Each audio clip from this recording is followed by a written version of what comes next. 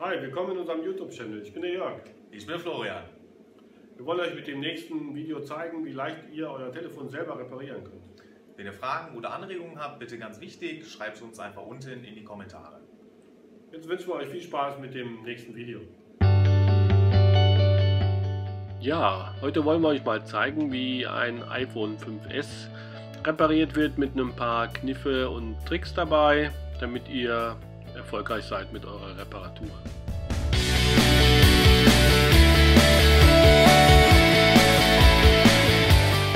Wir haben kurz erstmal alle Funktionen überprüft und schalten es jetzt dann aus.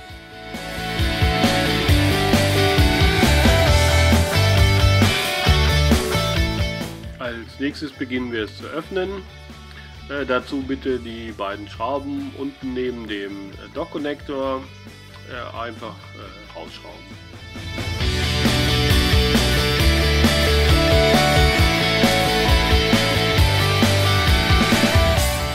Wir benutzen jetzt hier zum Öffnen ein besonderes äh, Tool.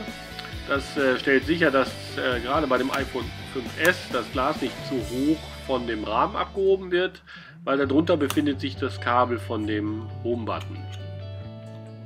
Bitte achtet selber darauf, dass ihr das Display nicht zu hoch von dem Gehäuse anhebt, damit ihr dieses Kabel nicht abreißt. Denn das Kabel ist jetzt hier auch nochmal mit einem Clip äh, befestigt. Bitte vorsichtig mit einem Plastiktool dort äh, den Clip anheben und danach äh, entfernen. Hier ist er mir weggesprungen, kann mal passieren. Äh, wenn der Clip entfernt ist, könnt ihr ganz leicht den, das Home Button Flex Kabel dann auch ähm, Können wir das Display im 90 Grad Winkel äh, anwinkeln, wie ihr hier seht. Ähm, als erstes beginnen wir immer mit dem Lösen der Schrauben von der Akku-Abdeckplatte. Darunter befindet sich äh, der Konnektor für den Akku. Den Akku trennen wir immer als erstes aus Sicherheitsgründen.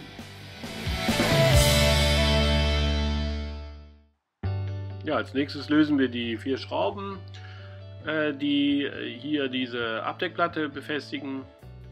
Äh, danach können wir dann die Flexkabel entfernen.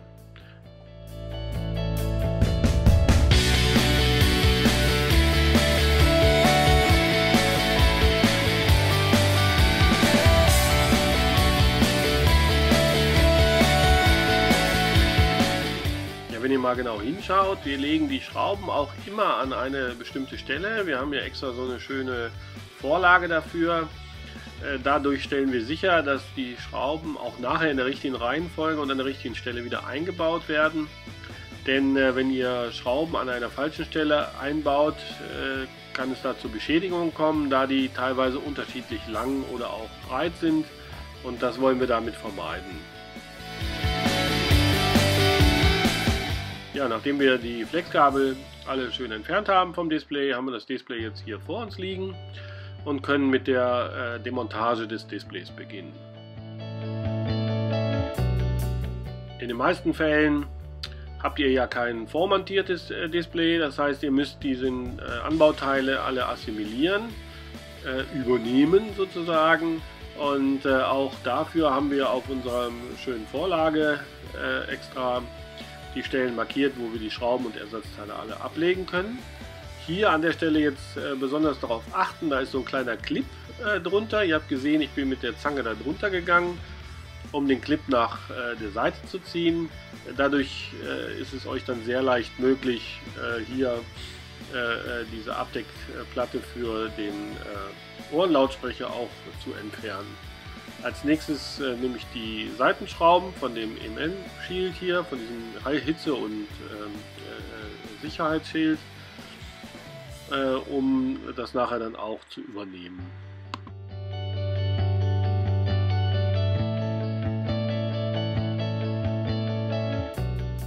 Ja, hier bei der letzten Schraube müsst ihr aufpassen, die liegt hier direkt bei dem Home-Button. Äh, die bleibt äh, oder verbleibt hier an diesem Flexkabel äh, die ist damit verbunden. Da ist auch so ein kleiner Clip. Als nächstes gehen wir hier an das obere Flexkabel äh, von der Ohrmuschel, wo die Frontkamera und andere Anbauteile mit dran sind. Und wie ihr seht, durch leichte Links- und Rechtsbewegungen meines Schlitzschraubenzieher äh, kann man ganz gut das Anheben. Bitte seid hier besonders vorsichtig, die Flexkabel sind sehr empfindlich. Als nächstes gehe ich an das obere Mikrofon. Das ist dann nur eingedrückt in so einem kleinen Plastikknippel. Äh, und jetzt könnt ihr äh, das ganze Shield abnehmen und äh, beiseite legen mit dem Flexkabelanbauteil. Nun geht es an den Home-Button, also hier an diese Home-Button-Abdeckplatte. Äh, sehr sensibler Bereich, da solltet ihr aufpassen, äh, denn äh, wir sind äh, nicht in der Lage, einen Home-Button zu ersetzen. Also man kann ihn zwar äh, ersetzen, aber die Touch-ID bei dem 5S funktioniert danach nicht mehr. Äh, solltet ihr also jetzt hier an der Stelle das Flex-Kabel oder den Home-Button irgendwie beschädigen, müsst ihr leider auf die Touch-ID verzichten. So, wie gesagt, hier an der Stelle schön aufpassen. Hier gehe ich auch mit dem Schraubenzieher, mit dem Schnittschraubenzieher drunter und löse den mit leichten Links- und Rechtsbewegungen. Sollte sich der nicht leicht lösen lassen, der ist angeklebt, dann äh, einfach mit dem Föhn äh, den unteren Bereich erhitzen und dadurch löst sich der Kleber ganz gut. Das gleiche gilt hier für den Home-Button.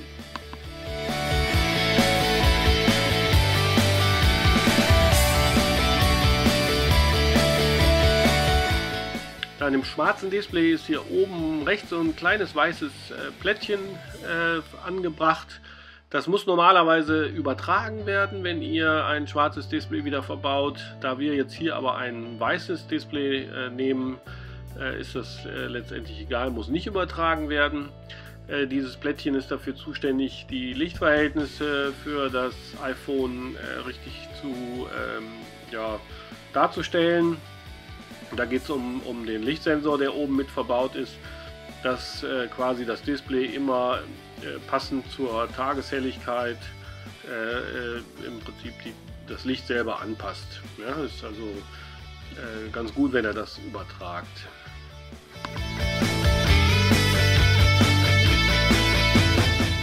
Ja, wie ihr seht, sind wir jetzt schon beim Rückbau. Das heißt, hier fangen wir jetzt als erstes mit dem äh, Home-Button an, haben den wieder eingesetzt, äh, dann die Home-Button-Abdeckung. Äh, hier teste ich, ob der Home-Button auch ordentlich klickt. Denn wenn ihr die Schrauben zu feste einbaut oder einschraubt, dann äh, ist häufig so, dass der Home-Button nicht mehr ordentlich klickt. Also äh, das lieber vorher testen. Dann äh, jetzt hier an der Stelle äh, nochmal aufpassen. Da befindet sich diese Schraube die an dem Flexband befestigt ist. Unterhalb äh, dieser Schraube und dem Flexband ist auch noch so ein kleiner Clip. Bitte äh, hier auch schauen, äh, dass dieser Clip äh, schön parallel äh, anliegt äh, zu dem, zu dem ja, Nuppen da von, dem, von diesem Shield damit letztendlich die Schraube wieder ordentlich dort eingesetzt werden kann.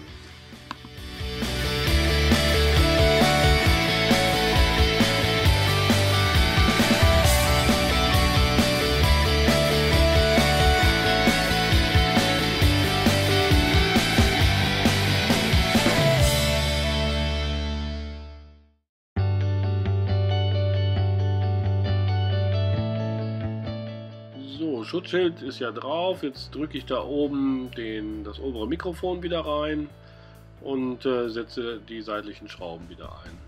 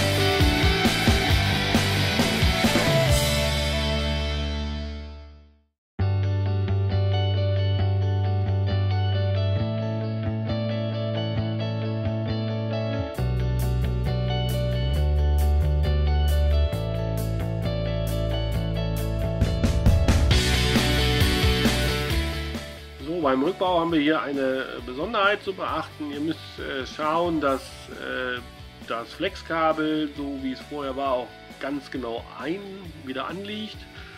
Jetzt äh, stelle ich hier fest, Moment, da ist irgendwie, passt das nicht so richtig. Das steht da hinten noch ab, ne? da war ich jetzt mit dem Fingernagel dran. Hm, drück noch ein bisschen. Was kann denn da sein? Und äh, stelle also fest, das ist so nicht korrekt. Jetzt habe ich gesehen, ah, Moment, äh, beim Abmachen äh, von dem alten Display ist hier dieser kleine Rahmen mitgekommen. Den brauchen wir aber nicht nochmal, weil der ja hier schon ähm, auf dem neuen Display mitgeliefert wird. Das heißt, ich habe den jetzt also entfernt. Der hat also die, die ganze Montage gestört. Und äh, dazu ist jetzt hier auch noch äh, dieses kleine Plastikteil abgegangen von dem äh, Proximate-Sensor. Äh, der Proximate-Sensor ist dafür zuständig, dass das Display sich beim Telefonieren abschaltet, damit ihr keine Fehlversuche macht. Sollte der abgehen und ihr den neu montieren müssen, so wie wir jetzt hier, dann packt ihn am besten auf den Sensor und äh, versucht ihn nicht ins Gehäuse zu legen äh, und dann den Sensor reinzudrücken, sondern genau diese Reihenfolge beachten. Dann äh, seid ihr auf dem richtigen Weg. Und jetzt stelle ich fest, oh super, ist sehr bündig und das müsst ihr auch, müsst ihr auch darauf achten. Es muss also absolut bündig sein und plan sein, so auf der Höhe von dem Shield. Dann könnt ihr hier das, äh, also den Lautsprecher wieder einsetzen und äh, danach auch wieder diese Klammer reinsetzen. Die Klammer hat auch eine besondere Eigenschaft, äh, die hat links so einen kleinen Haken, den müsst ihr da unterhaken und rechts dann auch diesen Haken, den wir eben mit der Zange entfernt haben, auch wieder reinsetzen. Wenn das Schild dann von alleine hält, das ist ein ganz gutes Zeichen, dass ihr alles richtig gemacht habt. Und danach könnt ihr, wie ich jetzt hier, äh, die Schrauben wieder einsetzen, um die Montage fertigzustellen.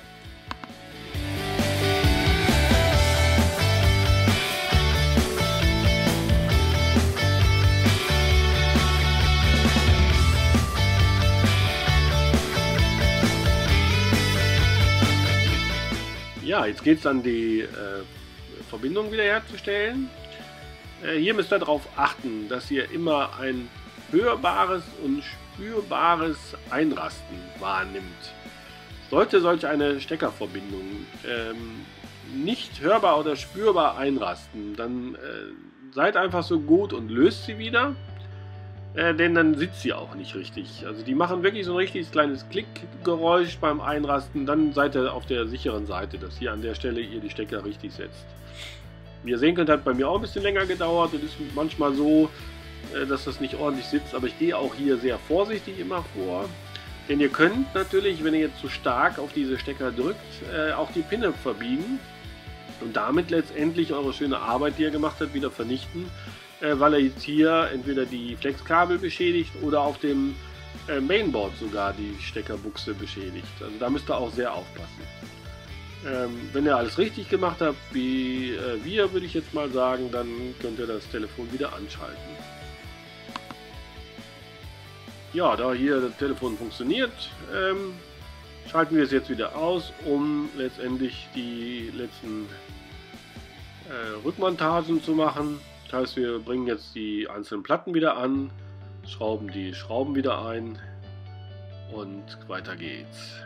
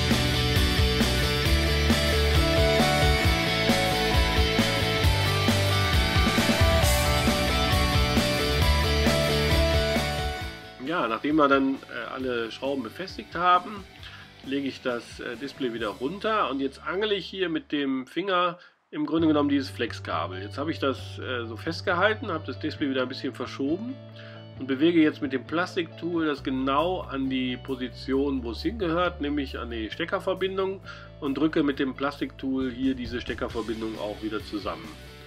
Auch da nochmal aufpassen, äh, die Flexkabel sind sehr empfindlich. Als, jetzt, als letztes ähm, nehme ich hier diese kleine äh, Abdeckplättchen äh, und äh, drücke die auch wieder rein. Äh, so bekommt dann der, das, dieses Home-Button-Verbindungskabel auch seinen ordentlichen Halt. Äh, bitte das nicht vergessen. Ähm, ist ganz wichtig, damit er nicht sich von selber löst. Ja, und wenn wir dann soweit sind, dann können wir es auch schon wieder zusammenstecken.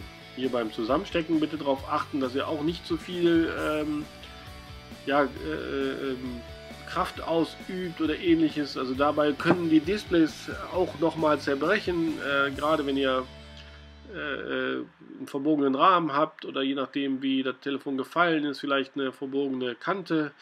Bitte versucht da, äh, wenn ihr könnt, ähm, Verbiegungen oder Verformungen irgendwie auszugleichen. Und äh, umso leichter kriegt das Display rein und ihr seid auch sicher, dass es ähm, ordentlich wieder funktioniert. Ja, das war es auch schon. Telefon startet und kann äh, zurückübergeben werden an seinen Besitzer.